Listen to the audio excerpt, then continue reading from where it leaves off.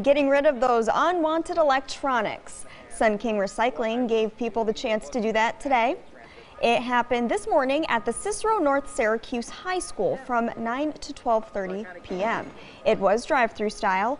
Organizers say it's important to properly dispose of your electronics so they don't end up in the landfills or the environment.